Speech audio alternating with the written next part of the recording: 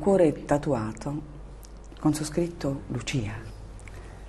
Sei mesi prima di morire Ettore, suo marito, si era fatto imprimere sulla pelle questo cuore. Un suggello struggente, doveva amarla molto suo marito, Lucia. Sì, mio marito mi amava molto, anche se a modo suo, nel senso che aveva tutto un, un suo modo di, di, dimostrarlo, però effettivamente mi amava tanto. E lei? Sì, anch'io lo amavo, lo amavo molto. Parliamo di questo amore, Lucia, un amore da tempo delle mele, così? Sì. A che età vi siete conosciuti? E io avevo 13 anni e avevo appena finito le scuole medie e lui ne aveva 19. Se l'è cresciuta proprio? Sì. Ecco, ma sì. Cosa, cosa, le piaceva di questo ragazzo? Perché a quanto risulta era un ragazzo un po' scorbutico, molto riservato. Ma mi sono innamorata di tutto, o forse di niente, non lo so, ma in quel momento era tutto per me. Ecco, era, mm, a quanto ho sentito dire, un po' possessivo, un po' geloso. Sì, sì, sì. È vero che non voleva che lei studiasse? Sì, è vero. Perché lui non l'aveva fatto e quindi si sentiva inferiore, diciamo, nei, nei miei confronti. Ecco, si sentiva al di sotto, diciamo in un certo senso. Un'ombra di complesso, diciamo. Sì. Eh. Però lui si avvia su una strada altrettanto nobile che è la strada dell'artigianato perché sì, sì, sì. diventa un ottimo fabbro suo sì, marito. Era un fabbro, eh, comunque ci vogliono nove anni prima nove anni. che si arrivi ai, ai fiori d'arancio. Ecco. E vi sposate nel 1998. 98. Ecco, insomma. Eh, senta, come sono questi primi? Perché nove anni sono tanti, eh, insomma, si può arrivare certo, anche. Sono tantissimi. Si può arrivare un po' scotti anche, diciamo, al matrimonio. Come funziona il matrimonio? Allora, il matrimonio nei primi anni funziona molto bene, nel senso che si faceva di tutto, si, beh, a parte il lavoro avevamo i nostri hobby, si usciva, avevamo delle amicizie, si, avevamo frequentato anche la scuola di ballo insieme per cinque anni, insomma, quindi i primi anni di matrimonio si sono svolti veramente nel migliore dei modi. Intanto tentavate anche così di, di fare... avere bamb un bambino, insomma, poi... Avete scomodato Padre Pio pure Abbiamo scomodato Padre Pio, sì, mm. perché purtroppo c'erano dei problemi. Padre Pio li ha risolti sì. e arriva una bellissima, miracolo, sì. una bellissima bambina, bambina sì. ecco, dopo tre anni di dopo matrimonio. Tre anni di matrimonio ecco. sì. Comunque, eh, diciamo che dopo questi primi anni luminosi, gradevoli, luminosi, sì, sì, sì, piacevoli, insomma, però cominciano ad addensarsi le prime ombre. Ecco. Perché Lucia? Cosa succede? Qual era, qual era, il problema fra voi? Il problema appunto era che non c'era più quell'attenzione che c'era durante il periodo del, del, fidanzamento, come se ormai si dava tutto per scontato, insomma. Cioè lo vedevo sempre più lontano, mh, tornava molto tardi la sera a casa, sempre di più, sempre più, sempre più tardi, insomma neanche il tempo magari di dialogare, di di scambiarsi delle opinioni, di raccontarsi il vissuto della giornata. Ecco. Però diciamo che lui non andava a giocare a tennis, insomma, ecco, lui no, andava, no, andava a lavorare, aveva, ecco, andava a lavorare, in questo senso, sì, insomma, sì. che era un gran lavoratore, certo. insomma. Sì. Eh, però, eh, Lucia, in questi casi c'è sempre il problema di sesso in mezzo. Eh, infatti, ecco. anche su quel piano, insomma, le cose stavano iniziando un po' si sentiva a trascurata? sfasciarsi. Si sentiva trascurata? Molto lei, trascurata, sì.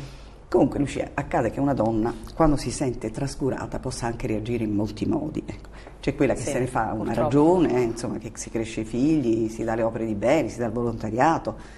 C'è quella che quando, si quando riesce, quando le riesce, si getta anima e corpo nel lavoro. C'è quella che il corpo lo butta da un'altra parte. Ed è stato il mio È caso. quello che ha fatto lei. Ecco, e di fatti è stata la sua scelta. E parliamone. Sì. Lucia, chi è quest'uomo che la fa sentire nuovamente al centro di quel pianeta che si chiama desiderio? Quest'uomo è Fabio. Chi è questo Fabio? Sì, allora Fabio era un mio collega di lavoro, nel senso era un infermiere anche lui. Senta, signora Lucia, qual era la situazione personale di Fabio? Era un uomo La- libero? no, eh, Fabio era una persona fidanzata, prossima al matrimonio. Sì. Ecco, senta, mh, signora Lucia, ma eh, con Fabio solo sesso oppure c'era anche spazio per i sentimenti? No, c'era solo sesso, non c'era spazio per i sentimenti. Ma mh, nessun senso di colpa, nessun rimorso nei confronti di suo marito? Sì, il senso di colpa c'era, ma allo stesso tempo quella relazione mi faceva stare bene, mi faceva sentire nuovamente donna e quindi portavo av- l'ho portata avanti per, per due anni. Però lei li Questo superava Sì. brillantemente. Senta, due anni comunque non sono pochi, eh, insomma, Sì, eh, e, e appunto, come abbiamo detto, Fabio trova pure il tempo di sposarsi Sì, nel sì, frattempo. nel frattempo si sposa. Comunque, eh, quello che conta è che la storia con Fabio si chiude con un finale particolare, diciamo, un finale forte. Sì. Ecco, ora Lucia, noi ne parliamo, perché ehm, ne parliamo con semplicità, insomma, con sincerità. Sì. Cominciamo col dire che in un giorno di agosto, di mezzo agosto del 2005, perché stiamo parlando della conclusione della storia Sì, con con Fabio, Fabio. lei come al solito doveva incontrare Fabio per quelle ore, diciamo, di sesso amoroso vai, Sì. che vivevate insieme. Ecco, ma c'è una novità. Vuol dire qual è questa novità? Sì, Fabio ehm, mi presenta un suo amico, un suo collega di lavoro, anche lui infermiere. Mi presenta a Biagio, Cioè vi siete incontrati e lui si presenta con un amico. ma io già lo sapevo, Ecco. cioè ero già stata avvisata da lui, ero consapevole. Ecco, eh, quindi era un'esperienza che lei era disponibile Sì. a vivere, insomma, Sì. non, non le creava difficoltà, insomma, quindi accetta questo rapporto, questa presenza di questo amico Sì. senza disagio. Ecco. Insomma, parliamoci con chiarezza, fate l'amore a tre. Sì. Era la prima volta che le accadeva di fare sì, era la prima volta. un'esperienza di questo Sì. tipo? Ecco. Per lei, appunto, diceva senza imbarazzo, senza disagio, insomma. No, vabbè, un po' di imbarazzo c'era, però allo stesso tempo era un- una cosa che ero consapevole di fare e che comunque nessuno mi costringeva a fare, insomma, era una cosa che avevo accettato. Vabbè, insomma, eh, a proposito di trasgressione, Sì. ehm, perché Fabio introduce questa- questo suo amico, insomma, ecco, questa, quest'altra presenza nella vostra intimità? Perché? Perché, prima di tutto perché anche lui voleva vivere un'esperienza del genere e anche perché ehm, aveva delle difficoltà ormai ad incontrarsi con me e quindi aveva deciso di, insomma, di farmi conoscere questo amico e di farmi incontrare con lui. Quindi praticamente porta questo amico, diciamo, vogliamo dire un po' per scaricarla, insomma, Sì, sì. ecco, voleva Ah, insomma, passare il testimone, sì. diciamo, ecco. Ehm, Però allo stesso tempo eh, anche lui, voglio dire, era preso da questa situazione, insomma, da questa nuova esperienza che anche lui, da come mi diceva, era la prima volta che viveva. ecco, quindi, e quindi Fabio avrebbe voluto continuare questo, questo gioco a tre, o no? Sicuramente. È probabile di sì. Ecco, quest'altra persona è Biagio, Sì. quindi diciamo Fabio avrebbe voluto magari continuare e invece a un certo punto Biagio Biagio, la sì. mette di fronte a una scelta, Sì. o io o lui. Sì. Ecco, e lei come mai sceglie, sceglie Biagio? Scelgo Biagio perché mi rendevo innanzitutto conto che con Fabio era una difficoltà ormai incontrarsi, in quanto lui aveva tanti problemi di famiglia Ma solo per questo, scusi? e quindi, no, non solo per questo, sì. Poi perché comunque con, con Biagio, anche, anche io, man mano venivo presa sempre di più da Biagio, sentimentalmente. Quindi diciamo che mm, avevo preferito vedermi con lui anziché con, eh, con Quindi- Fabio, che non c'erano mai stati sentimenti, non c'era mai stato un coinvolgimento proprio a livello amoroso, ecco. Finora, signora, abbiamo parlato di Biagio soltanto per quel che riguarda il vostro rapporto trasgressivo Sì. e anche bollente, chiamiamolo Sì. così, insomma, ecco. Però ehm, non sappiamo ancora niente di lui come persona, insomma, aveva 38 anni mi pare. Sì, sì, all'epoca sì. quando Quindi ci siamo mi dica lei qualcosa, ci dica lei qualcosa. Sì, Biagio era una persona molto dolce, una persona con un grande cuore, insomma. Quando eh, lui amava una persona, in questo caso me, eh, lo dimostrava con tutto se stesso. Questo sul piano sentimentale e sul Sì. piano caratteriale. Però abbiamo detto che lui ha 38 anni. Ha 38 anni. Professione? Infermiere Infermiere professionale anche anche lui. lui. Lui viveva a Corsano, quindi a 20 km da Taurisano, Certo. dal mio paese. Ecco, per fissare altre coordinate, noi diciamo che siamo nell'agosto del 2005 e quindi, chiusa la storia con, con Fabio, quindi nel suo angolo segreto resta Biagio. Eh, signora Lucia, dove vi incontravate lei e Biagio? Ci incontravamo nella sua casa al mare. Lui abitava da solo. Comunque Biagio ha dichiarato, ha dichiarato a verbale che quando vi vedevate non era solo per stare chiusi in casa e fare l'amore, insomma, che ha raccontato che facevate anche tante cose piacevoli insieme, ha parlato di gite, di passeggiate e, e questo lascia pensare che malgrado vi foste conosciuti, diciamo, per un gioco di amore a tre, ecco, al di là del sesso si era creata fra voi una forte sintonia. Ecco, eh, senta Lucia, per come lei lo percepiva, Biagio si era innamorato di lei, Sì, si era innamorato. Molto innamorato. però anche lei si era un po' innamorata di questo Biagio. Sì, anche io mi ero un po' innamorata. Ecco. Ma in tutto questo suo marito in quel periodo non si accorgeva di nulla? Parliamo di quel primo periodo. No, pri- nel primo periodo no, non, non si era accorto proprio di nulla. Quindi- Nessun segnale. Niente. Quindi o suo marito era molto distratto o lei era molto brava a fingere. Tutte e due le cose. Ehm, comunque suo marito non si accorgeva di No. Ecco, però invece chi si accorge della storia sua e di Biagio è qualcun altro. Chi è che se ne accorge, signora? Le- I suoi familiari? Sì, sì, i suoi familiari sì. E come se ne accorgono? Perché vedevano la mia macchina parcheggiata vicino casa. Mm, Cominciamo col dire, insomma, intanto loro eh, vengono anche a scoprirlo perché mi pare che una sorella di Biagio lavorava all'anagrafe, no? Sì, sì, prendeva informazioni su di me. Ma la famiglia di Biagio come, come si comporta con Biagio? Cioè che, che atteggiamento, che posizione prende nei confronti? Non erano tanto d'accordo e quindi magari lo mettevano di fronte alla realtà, insomma, che comunque era una persona già impegnata, che magari era meglio se frequentava una ragazza libera, no? Sì. Ecco, ma Biagio cosa aveva detto loro per tranquillizzarli? Che io mi separavo, che ero intenzionata, insomma, a chiudere la relazione con mio marito, però in realtà non è che aveva detto proprio tutta la verità. Insomma, non era... ancora da parte mia non c'era nessuna decisione in merito. Mm. Lei comunque non diceva che si voleva separare, insomma, no, qual era... no. No, no, no, no, con lui non, non- non lo affrontavamo proprio questo argomento. Sicura, sì. Lui ha detto al processo invece che lei avrebbe dichiarato, che lei, che lei diceva a lui in privato, insomma, che invece eh, aveva mm, così in progetto di separarsi da suo No, marito. se ne parlava, ma così in maniera proprio. Invece lei non era, insomma, da quel- Non ero intenzionata, no. Non avevo deciso niente. Ecco, mm, tutto sommato poi la sua vita, bene o male, le andava bene. Tanto è vero che con mio marito, voglio dire, no, eravamo. Ci, ci volevamo avviare verso un mutuo per la casa, insomma, per finire la casa. Quindi con mio marito c'erano altri progetti Ecco, rispetto, insomma, alla storia con Biagio.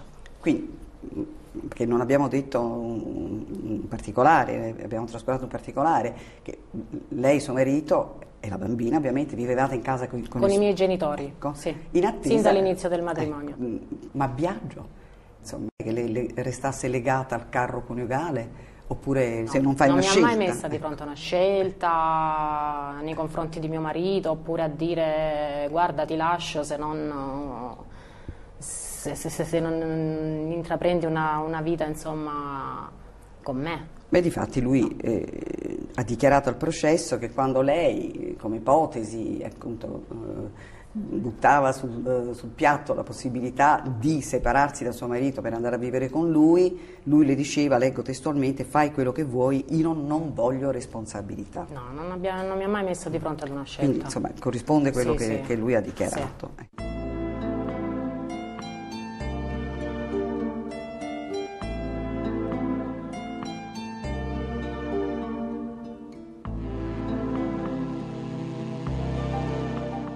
Ehm, a questo punto, signora Lucia, arriviamo a quello che è il cardine Sì. su cui ruota questa tragica vicenda. Un cardine che ruota su due assi. L'esistenza o meno di una patologia da Sì. cui sarebbe stato affetto suo marito Sì. e quanto l'avere lei parlato e poi con chi ne ha parlato, di una patologia grave di suo marito, le è stato fatale. Intanto, signora Lucia, cominciamo a fissare una data, che è poi il punto di, di inizio di tutta di questa intera vicenda, insomma, e siamo nell'autunno del 2005. In quell'autunno Ettore comincia a stare male. Sì, ecco. inizia ad avere i primi sintomi, i primi malesseri. Quali sono questi malesseri? Aveva difficoltà a respirare, e aveva de proprio delle sensazioni di svenimento, un dolore proprio al torace come se avesse un peso che lo schiacciava.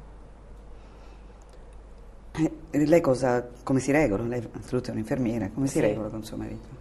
E, insomma andammo subito dal medico di base ecco, per uh, esporre insomma, questi sintomi. Mm, gli prescrisse subito del RX insomma, al torace per verificare quali fossero insomma, da che cosa provenissero no, questi mm. sintomi. E anche delle, delle analisi? Sì, sì, delle analisi del sangue. Quindi indubbiamente individua certi sì, insomma, sì, nei sì, sintomi un problema da indagare. Infatti, ecco. sì. Ecco. E cosa emerge da questi, da questi, accertamenti? Ma in un primo momento, la prima volta, insomma, emerse che Ettore era affetto da una bronchite acuta. Nessun problema che potesse creare un, un grosso allarme, ecco, questo diciamo. Ecco. Ora arriviamo al punto, signora Lucia, perché è da qui che ha inizio il versante obliquo di questa storia. Perché a quanto risulta, sin da quando Ettore accusa i primi sintomi, i primi malesseri, sì. vale a dire, abbiamo detto intorno alla metà intorno, di ottobre, sì, sì, ottobre. Ecco, lei ne parla con Biagio. Sì, anche perché essendo un infermiere anche molto più esperto di me, mi poteva dare dei consigli. Tra l'altro lui lavorava in pneumologia, quindi era proprio la sua materia preferita, se vogliamo. Lui si occupava proprio di eh. problemi al torace. Ma una volta ritirati i referti, ecco, lei cosa dice a Biagio? Cosa era emerso da questi referti, da questi accertamenti? Mi mantengo un po' evasiva, ecco. Nel senso, non, non gli vado a dire il, il, il referto nei minimi particolari. Però io devo necessariamente ricordarle invece cosa Biagio ha detto al processo e prima ancora agli inquirenti. Ecco, ha dichiarato che lei ha detto altro invece, gli ha detto che Ettore aveva un tumore. Sì, sì, questo in seguito. No, lui ha detto già che ad adesso, mentre Ettore non ce l'aveva un tumore. Ecco, Biagio ha dichiarato che lei già da ottobre ha cominciato, ottobre-novembre ha cominciato a dire che Ettore aveva questo tumore eh, grave, inoperabile e che praticamente gli sarebbero rimasti pochi mesi di vita. Ecco, signora Lucia, ma ci spiega perché lei si è inventata con Biagio l'esistenza di un tumore che nei fatti suo marito non aveva?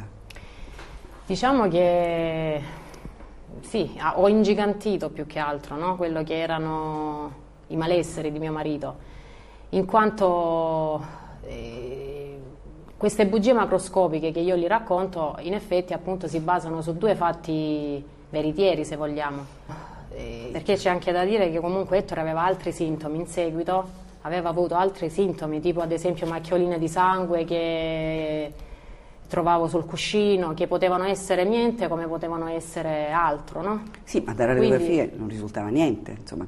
Ecco, la domanda che io appunto le rivolgo nuovamente, perché lei ha detto a Biagio questo? Perché nel momento in cui io lo impietosivo con questa storia della malattia di mio marito e lo vedevo molto più vicino nei miei confronti, cioè questo, questo dolore, no? in un certo senso che io gli esprimevo, di questi problemi familiari che stavo avendo, fortificava il nostro rapporto, cioè io lo vedevo più legato, lo legavo sempre di più a me. Quindi, ma lei aveva bisogno di questo espediente per tenere legato un uomo che già era innamorato di lei? Sì, perché comunque lo vedevo che si univa sempre di più. Per quanto poi riguardava il futuro, c'era qualcosa che Biagio cominciava a dirle, mm, diciamo... Eh... Mi diceva insomma che lui mi sarebbe stato vicino in qualsiasi modo, comunque sarebbe andato a finire la storia, lui sarebbe stato sempre vicino, insomma, mi avrebbe sempre sostenuto. Ecco, però va detto che Biagio ha dichiarato di averle parlato della possibilità di un futuro insieme solo nel momento in cui lei le aveva fatto capire che suo marito non aveva futuro, cioè non prima. Comunque, signora, al di là eh, di questa eh, bugia sul tumore che lei aveva confezionato per Biagio, C'è un, un, fatto certo che è a inizio del, dell'ottobre del 2005 che, come abbiamo detto, suo marito comincia realmente a, a accusare dei sì. fastidiosi malesseri, sì, dei sì, sintomi. Ecco. Col passare del tempo, ecco, questi sintomi mm, continuano a essere presenti, peggiorano, insomma, come stava Ettore? Continuava ecco, a star quindi, male. Lei cosa raccontava a Biagio? E gli dicevo insomma che c'erano degli alti e bassi, che a volte riusciva ad andare al lavoro, a volte no, a volte si doveva anche ricoverare in ospedale, insomma, per uh, affrontare delle terapie. Man mano, insomma, gli raccontavo queste cose.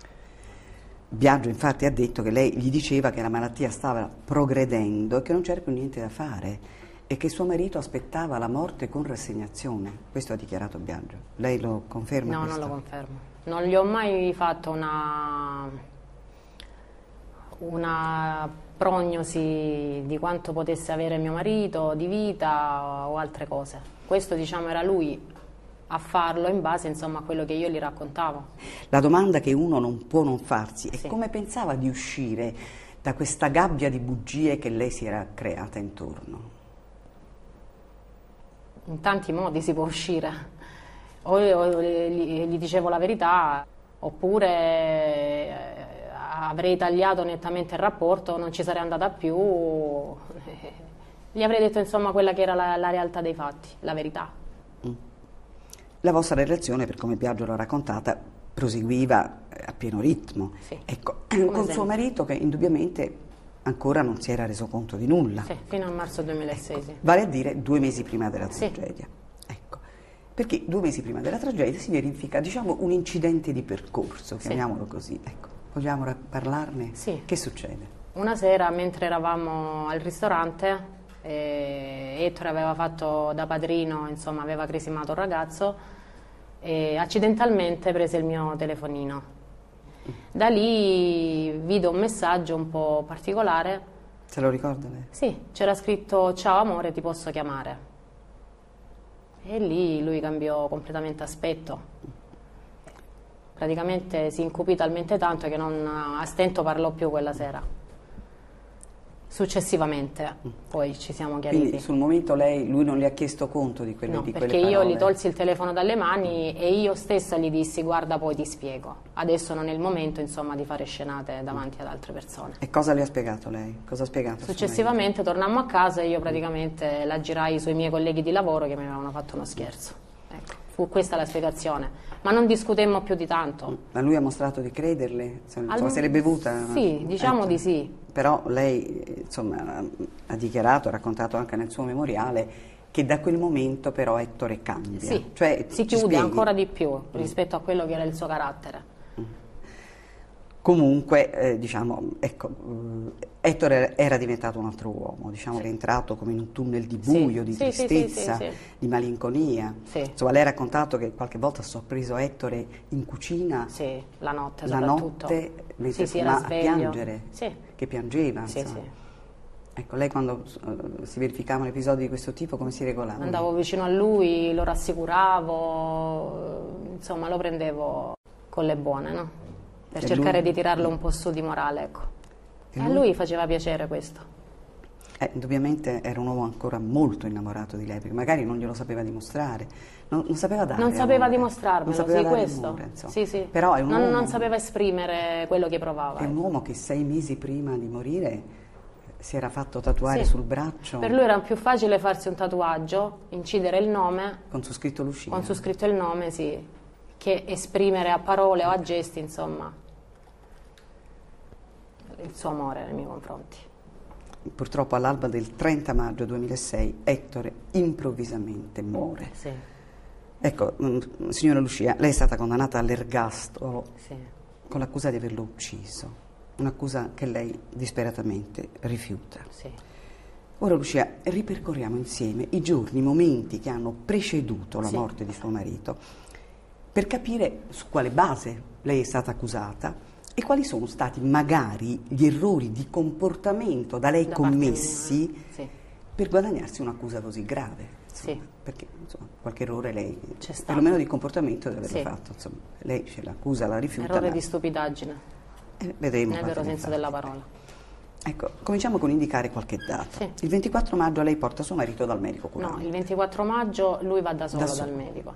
Il solo fatto che lui, o accompagnato dal- dalla moglie Lucia, o solo da vada dal medico, denota una- un dato. Quest'uomo stava male, perché sennò dal medico non ci Tanto è sarebbe... vero che io non sapevo che lui quel pomeriggio andasse dal medico. Comunque, Fu una lui- decisione sua. Quindi siamo a maggio, A maggio. siamo a fine maggio, Sì. siamo proprio alla vigilia della, quasi alla vigilia della fine. Sì. Ecco, quali erano i sintomi che Ettore in quel periodo accusava? Allora, in quel periodo lui eh, accusava una grave astenia, tremori alle gambe, sdoppiamento della vista e un senso di confusione, insomma.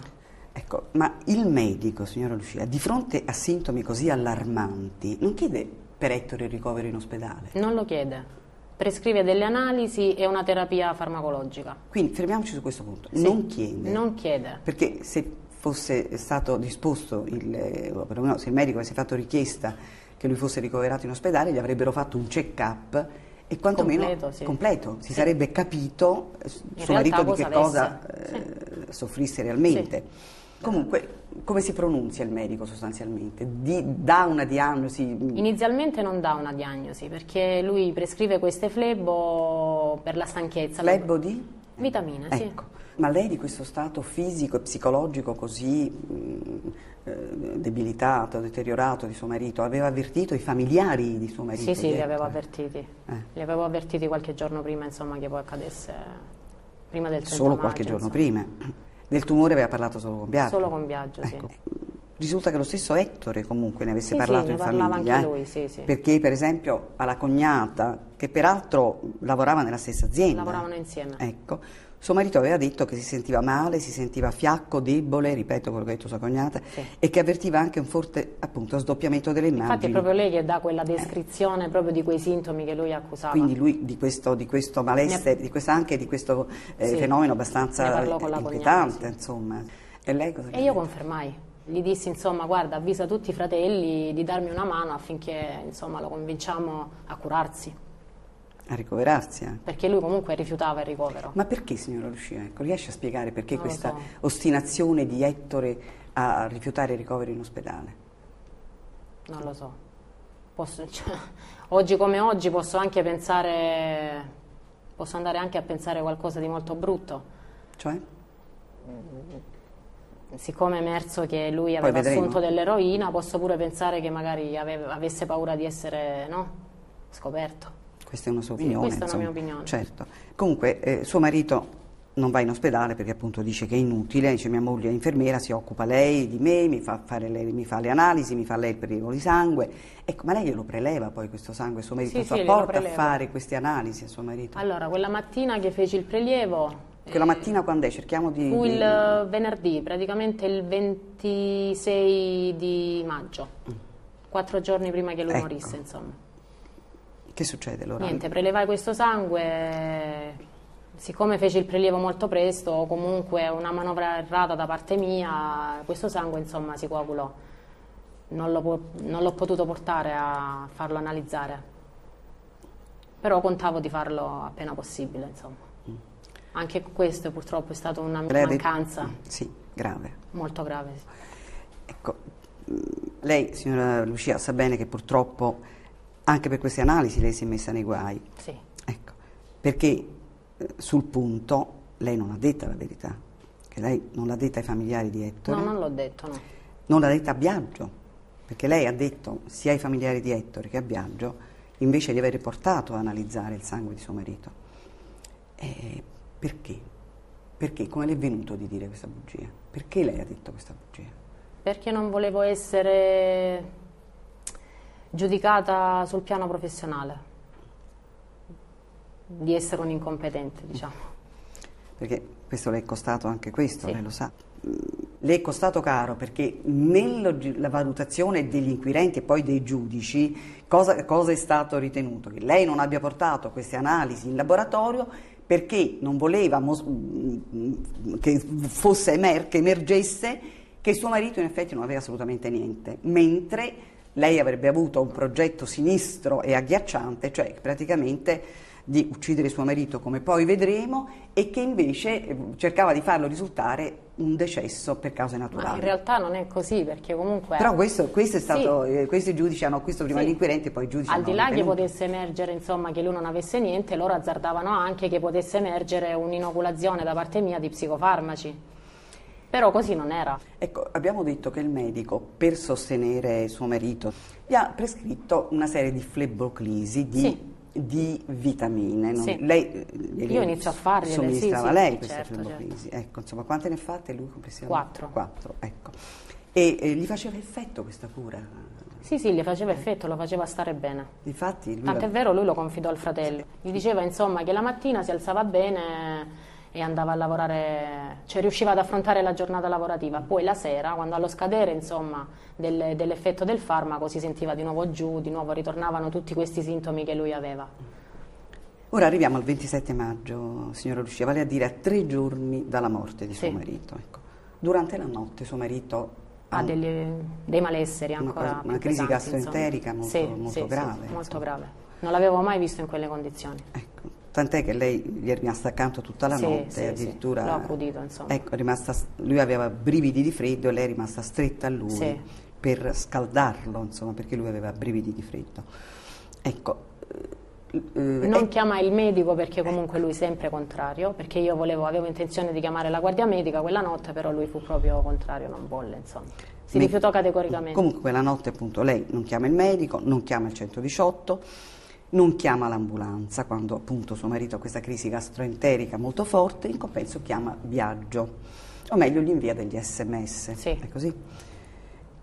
E anzitutto ci può spiegare perché anziché fare per suo marito le cose necessarie, appunto chiamare un medico, portarlo in ospedale, lei chiama il suo amante, mi scusi? Appunto perché ero disperata, perché lui non mi consentiva di chiamare nessuno, cioè era proprio... cioè la sua volontà prevaleva, mi imponeva proprio di non chiamare nessuno, neanche la mia famiglia che era lì in casa. Tant'è vero che poi chiamo Biagio nella disperazione più totale e gli confido tante cose, ingigantendo anche in questo caso insomma, quelli che erano i sintomi che lui stesso lei, perché stava lei cosa, cosa, comunica al suo amante? Insomma? Che, insomma, che mio marito stava proprio male, che le, la, le sue condizioni di salute si erano molto aggravate. Questo. Comunque Biagio l'ha raccontato in un modo diverso al processo, perché ha dichiarato che in quei messaggi lei gli avrebbe invece scritto che la situazione era precipitata, che oramai per Ettore era solo questione di ore. Non è proprio così. Dice lei che a deragliare è stata l'interpretazione, che, che, Biagio ha dato sì. alle sue parole. Insomma. Il fatto sì. che appunto a monte c'era quella la menzogna sul tumore, quindi lui tutto leggeva sì. nell'ottica di, di, questo male incurabile. Insomma. Eh, però mh, va detto che Biagio eh, agli inquirenti e poi al processo ha detto ben di più, ha dichiarato che nei giorni precedenti la fine di Ettore lei di messaggi gliene aveva mandati parecchi e in tutti lo informava che le condizioni del marito erano disperate, che Ettore aveva le pulsazioni deboli, eh, che aveva addirittura il respiro a rantolo. Il fatto è questo. Gli inquirenti e poi i giudici sono detti, ma come faceva la signora a fare affermazioni così gravi? A dire al suo, al suo, amico che il suo marito aveva le ore contate, che, il marito, che eh, praticamente il marito stava per morire, quando poi non c'erano i presupposti clinici per dirlo. Capito qual è il punto? Sì, insomma? Sicuramente ho sbagliato. Ecco, ecco. Lei, signora Lucia, sa bene che purtroppo tutto bugie che lei diceva a viaggio mentre la situazione di suo marito era una situazione difficile, grave, ma non era quella che lei descriveva al suo amante, è stato valutato come la cronaca di un delitto annunziato. Ho commesso degli errori. Cioè, di diciamo, stupidità. Diciamo per vero quello che lei, dando credito alle sue parole, ma viene condannata solo per delle bugie, insomma eh, c'è veramente da meritarsi il premio Nobel per la stupidità, mi scusi. Eh. Comunque signora Lucia, al di là di quei suoi dissennati sms, eh, torniamo al problema di suo marito, a quegli ultimi giorni sì. nei quali Ettore stava effettivamente male. male.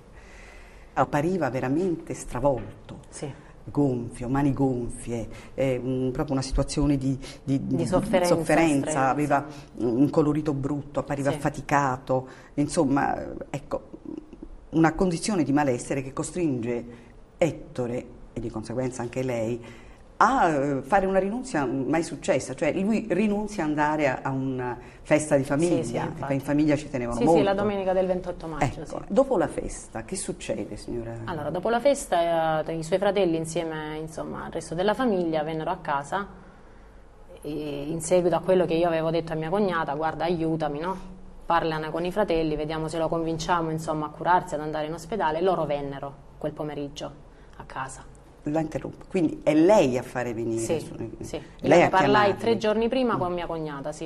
Ecco, quindi non solo per fargli compagnia. No, no, no, questa- no, ecco. proprio vennero po- proprio perché comunque avevano ricevuto il mio messaggio. E, e appunto, come lo trovano? Come vedono Ettore? Come Beh, Ettore stava a letto, Mm. sì. Poi comunque dopo si alzò e le- la- le- una delle sorelle in particolare, c'erano tutte, però una in particolare insomma mi incitava, guarda dammi la borsa, lo portiamo subito in ospedale. Ettore alzati, andiamo in ospedale. Insomma, il- eh, era l'obiettivo di tutti. E lui? No, no, si rifiutò categoricamente, anche davanti ai fratelli, insomma. C'è un discorso di prova logica che è insuperabile. Il ragazzo sta male, è malato senza ombra di dubbio. Lucia riceve il giorno prima della morte del povero marito in casa sua i familiari del marito, i fratelli, le cognate, una famiglia molto unita, molto affiatata, che seguiva le vicende del, del fratello ammalato, il quale rifiutava il ricovero in ospedale e disse fatemi la carità, ricoveratelo in ospedale, fatelo anche di forza voi perché io non riesco a farmi sentire su questo discorso. Questa si chiama prova logica di un fatto che non è possibile che una aspirante omicida la sera prima di porre in essere quelle azioni che hanno portato a morte, secondo l'accusa, il povero disgraziato, dica portatemelo via, toglietemelo dalle mani, perché necessariamente deve essere ricoverato perché sta male, così come effettivamente accadeva perché stava effettivamente male. Questo è un discorso di logica elementare. Comunque, signora Lucia, Ettore muore la notte, Sì. fra il 29 e il 30 maggio. Lei ricorda come suo marito trascorre quell'ultima giornata, quella che sarebbe stata l'ultima giornata di vita per lui? L'ultima giornata, la mattina il primo pensiero insomma fu di recarci dal medico curante per vedere il da farsi, insomma, per esporre i nuovi sintomi che erano emersi tra il sabato e la domenica. Poi? Niente, poi tornammo a casa, Lui facemmo dei giri un po' nel paese, andammo passammo anche da mia sorella quella mattina, però guidavo io perché lui non era proprio nelle condizioni di guidare. E beh, lui dice che vedeva tre Tre strade, strade, sì, sì, cosa sì, sì. molto L'immagine grave. si, si- si triplicava. insomma. Allora, praticamente poi lui ritorna a casa, lei però va al lavoro. Sì, Ecco, quindi, senta signora Lucia, in quel pomeriggio, perché lei va a lavoro nel pomeriggio, lei ha occasione di sentire Sì, Biagio? sì. Il suo amante? Quel pomeriggio no. Tant'è vero che... Però gli ha mandato degli sms. No. Allora, e lui, Biagio, sostiene che io quel pomeriggio gli mandai degli sms, però poi da tabulati telefonici effettivamente dalla perizia telefonica non emergono. Ecco, Biagio eh, diciamo, mm, sostiene che lei gli ha mandato questo sms e lei gli comunicava che suo marito era in uno stato di precoma e che si nutriva oramai solamente per febboclisi. Ecco, ma lei ha parlato di precoma con Biagio, signora Lucia? No, più in Biagio si parlava di uno stato soporoso, insomma, che quella situazione, insomma, un po' similare, ma non proprio, un po' similare. Però voglio dire, quello che lei comunica a Biagio è una notizia grave, una notizia, insomma, se- non so un se... sempre un po' esagerata. Ecco, molto esagerata. Si ricorda cosa ha dichiarato lei al PM? E lei ha detto, "Mm, ho detto quelle cose eh, testuali, un po' per scherzare, un po' per liberarmi di Biagio. Se Liberarsi no, di no, un per amante questo- dicendo che il marito no, il tumore, insomma, mi sembra insomma, che sta morendo. Perché, sì, perché comunque lui mi stava molto addosso, sempre a chiedermi ma come sta, ma come non sta, insomma. Poteva essere dettato da due elementi, dall'amore nei suoi confronti, ma anche forse dalla sua professione. Sicuramente. Ecco, signora, quell'ultimo, quello che sarebbe stato l'ultimo giorno di suo marito, lei va eh, regolarmente a sì, lavorare. andai Ecco, al lavoro. Quando torna, lei in che condizioni di salute trova Ettore? Come le appare Ettore? Lo trovo uguale praticamente come l'avevo lasciato la mattina. Quindi niente... Sempre con quella stanchezza profonda, mm, con gli stessi sintomi, insomma. Però niente di preoccupante, più del solito, insomma. No, lui mi voglio dire. aspettava con molto nervosismo, diciamo, perché non- appunto si sentiva molto stanco e voleva subito togliersi la flebo davanti, farsi questa flebo e mettersi a letto, insomma. Ecco, gliele faceva lei. Sì, ecco, sì. quella sera lei fa la febbocrisi? Sì, sì, quella sera gliela faccio, sì. E dopo la febbocrisi? Cosa fate? Cosa fa lei? Cosa fa lui? Dopo la flebo, la flebo, insomma, preparai la bambina per la notte e poi guardammo la tv a letto, tutti e tre insieme. E Lucia, cosa accade poi quella notte? Che ricordo ha lei del compiersi di questa tragedia? Io ricordo della sera, no? prima di addormentarci. Quindi guardammo un film e verso le 11 e un quarto così entrarono i miei genitori a salutarci e verso le 11 e mezza insomma ci addormentammo. Sì, mh, i suoi genitori hanno testimoniato Sì. in questa direzione, essendo i suoi genitori logicamente non sono stati creduti. Insomma. Ecco, eh, in che momento di quella notte lei si è accorto che Ettore se n'era andato? E La mattina era, era l'alba insomma, verso le 5, intorno alle 5 del mattino. Cioè cosa, cosa succede? Ci racconti lei, Praticamente signora? io mi svegliai, mi alzai, insomma, lo chiamai ave- per vedere se aveva bisogno di qualcosa e lì mi accorsi insomma che lui non mi rispondeva. Accesi la luce e lo vidi insomma in una situazione abbastanza strana. Abbastanza strana che vuol dire, signora? Lei ha capito che era morto lui? Sì e no, Cioè, non- non- non- Perché lui come sembrava? Che, che volto lui aveva? sembrava che stesse dormendo praticamente. Quindi non aveva un, viso No, no, no, stravolto, no, no. nulla. Sembrava che stesse dormendo, ma comunque era strano che non mi rispondeva. Lo sentivo abbastanza rigido, però mi precipitai subito, chiamai subito i miei familiari, insomma, che erano in casa con noi. La bambina? E la bambina si svegliò perché è presa dalle urla. Perché io chiamai mio padre, mio padre accorse subito vicino al letto, lo prese, e, scuotendolo abbastanza forte, insomma, e fu proprio mio padre che mi disse guarda Lucia, Ettore se n'è andato. Signora Lucia, sempre per chiunque i momenti successivi a una tragedia sono momenti traumatici, Sì. però vado diritto al punto, perché è un punto nodale questo, Sì. signora.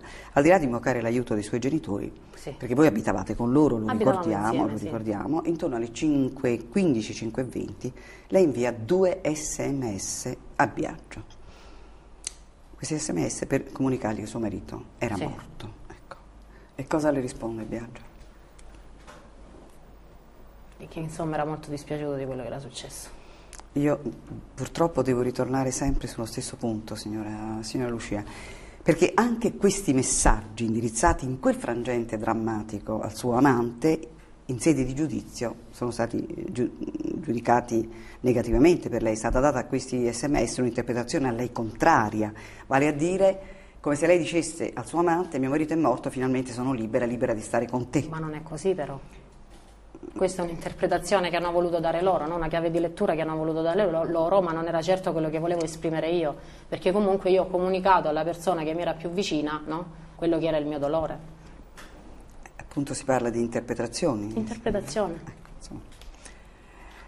Comunque, signora Lucia, Biagio viene a sapere che suo marito non era malato di tumore perché dopo la morte di Ettore, la cognata di Biagio parla casualmente con il medico del 118 e apprende che Ettore risultava per arresto cardiocircolatorio. Quindi, però apprende una cosa, che non era malato di tumore. A quel punto Biagio, sconcertato, si consiglia con un amico maresciallo dei carabinieri, dopodiché Biagio viene convocato lui al commissariato Sì. perché racconti i fatti. Sono andate così le cose? Sono andate così. Ecco, vedi Lucia, la fiducia è un credito Sì. difficilissimo da ottenere, ma facilissimo da perdere. Appunto, per puro caso Biagio scopre che suo marito non era malato di tumore e sconvolto scopre quindi a quel punto che lei gli aveva mentito. E il suo amante da quel momento dà il via a indagini mirate su di lei e di fatto poi diventa il suo accusatore. Sì, il test chiave, no? Ecco, ma secondo lei Sia perché per lo ha quello- fatto lui?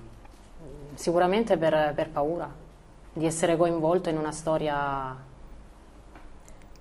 più grande di lui, no?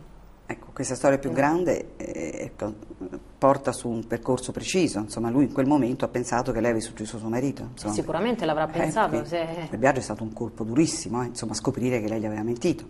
Sì, però appunto, visto che mi amava tanto, che era così innamorato, io credo che la prima cosa lui che avrebbe dovuto fare è venire direttamente da me, anziché comportarsi in questo modo nei miei confronti, E lui una spiegazione l'ha data, ha spiegato che in quel che momento... aveva avuto molta paura.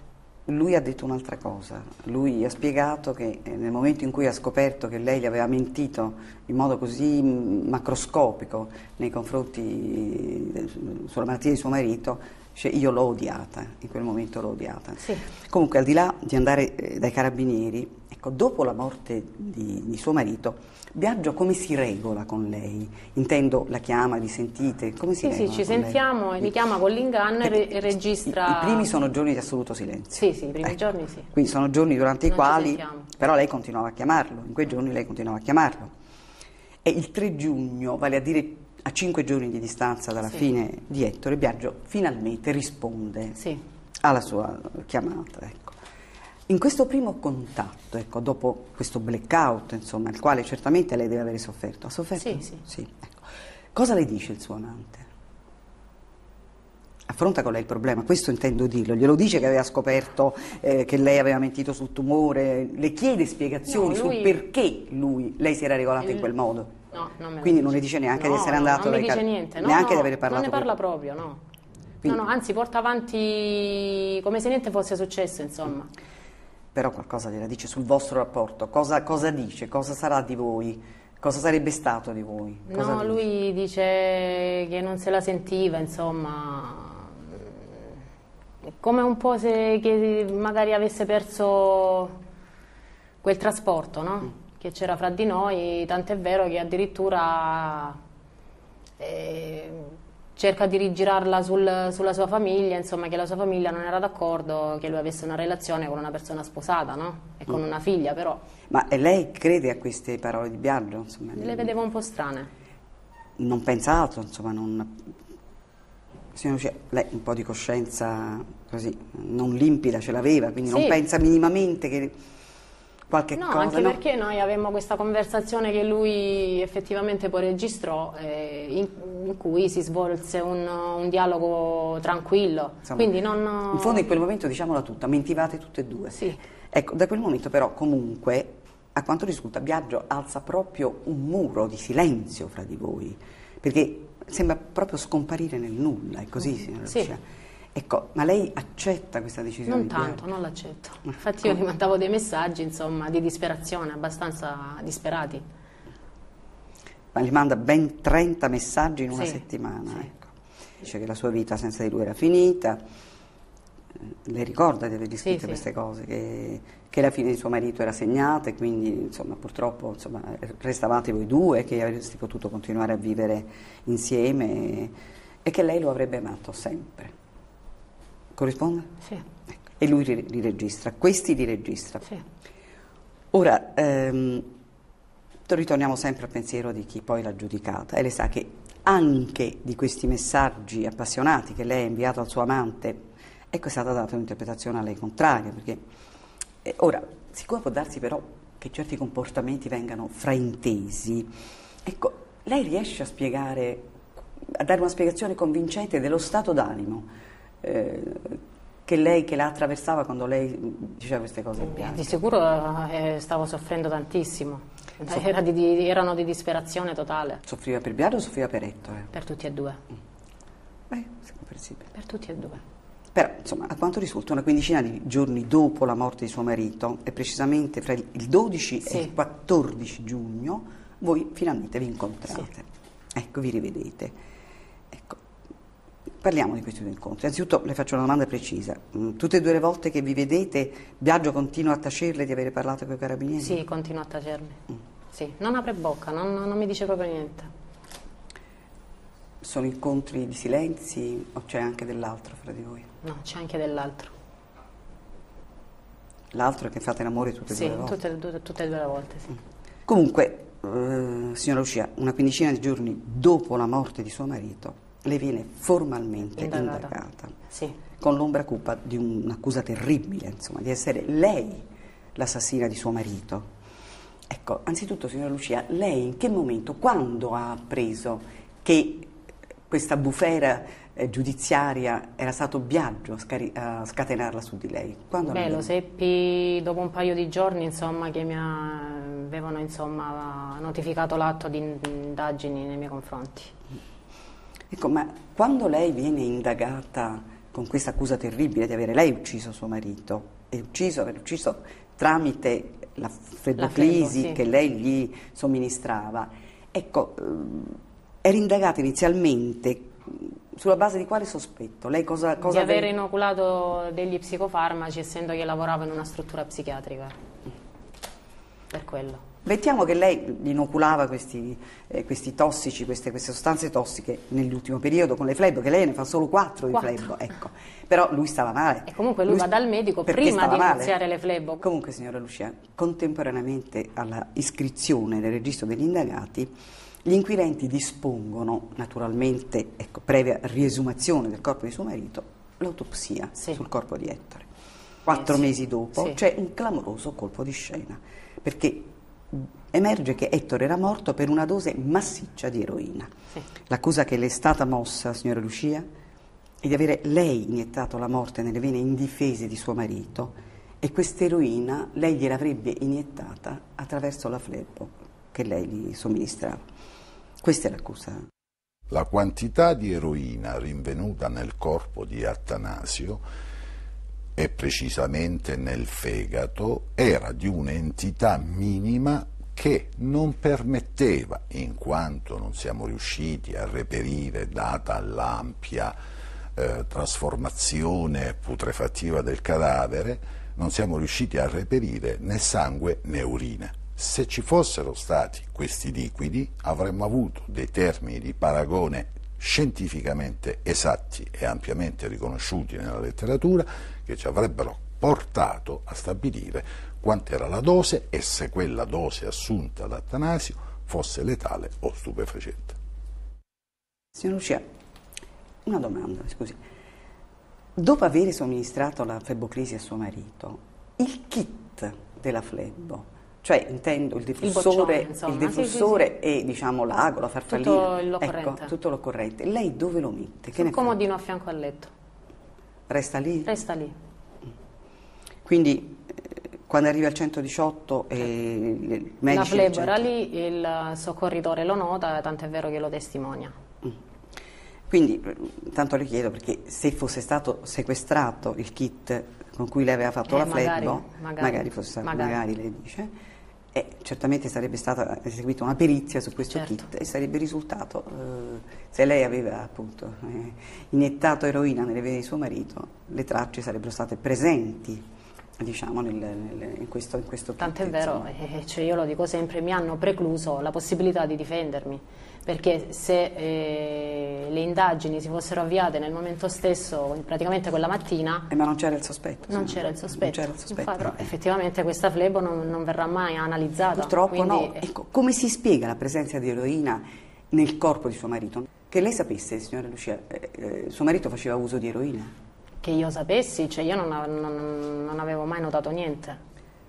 Quando è stata fatta appunto l'autopsia di suo marito, però eh, praticamente è emerso che lui non fosse consumatore abituale di eroina, perché l'avrebbe presa, signora Lucia? Eh, può, si possono dare tante spiegazioni. No? Lei... Quella più, diciamo, che io posso pensare è che magari era per questo suo stato di malinconia, no?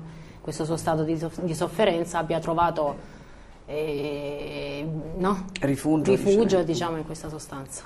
Comunque, a proposito sempre di questa dose di massiccia di eroina che, che ha ucciso Ettore, se, se, se, a un certo punto l'ha assunta lui personalmente, eh, qualcuno deve pure avergliela data, ecco, questa eroina. Ma dalle indagini è emerso che Ettore per caso frequentava ambienti legati al narcotraffico?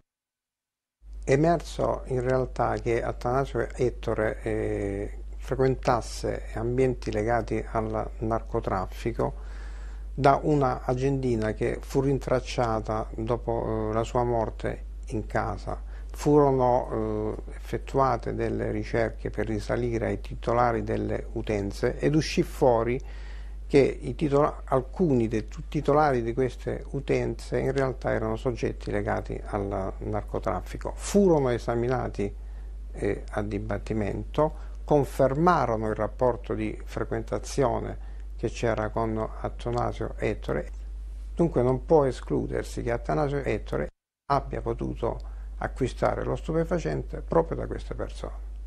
Questo è, Questo è assodato. Questo è, sono atti processuali. Sì. Ecco, però è stata accusata lei, signora, sì. di aver iniettato eroina Comunque, nelle vene suo marito, tutto, no? Però, no, eh, non è stato tenuto in conto niente. Ora ritorniamo, signora Lucia, al suo rapporto con Biagio. Presenza che comunque fa da sfondo con le luci e le ombre a questa tragica vicenda. Infatti raccontano che per circa quattro mesi, vero? Tre mesi e mezzo, insomma. Non ci vediamo più. Ecco. Quando è che vi vedete, signora? Ci vediamo occasionalmente in settembre. Proprio occasionalmente? Occasionalmente perché comunque eh, io effettivamente vado in un luogo dove era possibile trovarlo. Quindi occasionalmente trovo. lei lo va a cercare. Quando Biagio la vede, ecco, come si svolge questo incontro? Che reazione ha Biagio di fronte a lei? Parlammo, si mise anche a piangere, a dirmi che a lui gli dispiaceva tutta la situazione che si era creata, insomma, che lui aveva avuto paura di essere coinvolto in questa storia, insomma, perché comunque a quel punto lui sapeva che io sapevo che dietro c'era eh, lui, certo. quindi ormai era tutto venuto allo scoperto. Eh, giocavate a carte scoperte sì. a un certo punto, tutti e due. Sì. Biagio le ha chiesto conto delle bugie che lei gli aveva detto sul tumore? Sì, mi chiese delle spiegazioni. Ecco. io gli dico che effettivamente Ettore stava male, ma non c'era niente di definito e comunque nel momento in cui lui mi chiede perché al, no, ti sei comportata in quel modo, io gli dico perché comunque ti volevo tenere legato a me. E lui come ha reagito? come l'ha trovata questa spiegazione accettabile? Sì, l'ha accettata. Tant'è le... vero che comunque poi abbiamo intrapreso di nuovo la relazione. Che le abbia creduto o che non le abbia creduto, un dato è certo che quest'uomo comunque doveva amarla molto, insomma, perché anche avendo solo il dubbio più remoto che lei potesse essere stata responsabile di quel gesto agghiacciante, ecco, un uomo che, si mette, che ritorna ad amare una donna, che si, insomma, si lega nuovamente a lei, insomma, o deve amarla molto o deve credere eh, completamente in lei, insomma, altrimenti non è spiegabile. Insomma. Sicuramente si era ricreduto. Comunque il 29 maggio 2007, a distanza di un anno esatto dalla morte sì. di suo marito, lei viene arrestata. Sì. Ecco, per capire, signora Lucia, quando lei viene arrestata, lei e Biagio sono andati ancora insieme. Sì. Ecco, ma la vostra storia finisce lì oppure Biagio le rimane accanto? No, la nostra storia finisce lì. È stato un dolore... Senti Lucia, ma in tutto questo non abbiamo ancora parlato della posizione assunta, parlando di famiglie, dalle rispettive famiglie. Cioè, la sua famiglia, è inutile dirlo, insomma, i suoi familiari... Mi sono stati sempre accanto. Sì, a parte che sono, eh, diciamo assolutamente, totalmente convinti della sua sì. innocenza, si sono battuti e si battono, e qui va spesa una parola per sua sorella Rovena, sì. perché è una persona straordinaria. In prima persona. Che si batte in una maniera veramente come una leonessa perché sì. venga riconosciuta la sua innocenza. Ma i familiari di Ettore, ecco, che posizione assumono nei suoi confronti, signora Lucia? No, si mettono un muro. Nel momento in cui vengo indagata loro si allontanano soprattutto nel momento in cui sanno che io avevo un'altra persona al mio fianco, insomma, che avevo un amante. Questa è la cosa che li, li allontana più di tutto. Si sono costituiti, sono costituiti parti civili al processo? Sì, sì. in assise, in primo grado, insomma, sì. Poi in, corte, in appello si sono poi hanno ritirati. ritirato la parte civile. Comunque il 7 maggio 2008 davanti alla Corte di Assise di Lecce ha iniziato il processo per la morte di suo marito Ettore Attanasio stroncato da una dose micidiale di eroina, 70 mm, mg, cioè mm, vale a dire ritenuta una dose pari ad almeno sette volte la dose corrente.